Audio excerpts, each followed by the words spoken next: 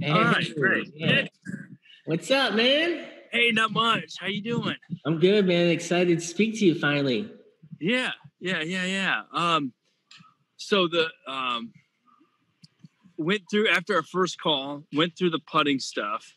Um, d- the putting stuff is amazing. I, I feel so confident. I the the ruler thing. I'm getting 15 like every time I every time I practice now after doing it like every day.